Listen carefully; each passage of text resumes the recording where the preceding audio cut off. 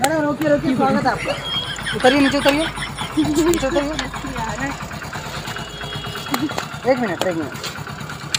जल्दी लिए हेलमेट क्या हो गया? मेरे तो आपके तो क्या कहते हैं सुरक्षा के लिए हमने हेलमेट लिया।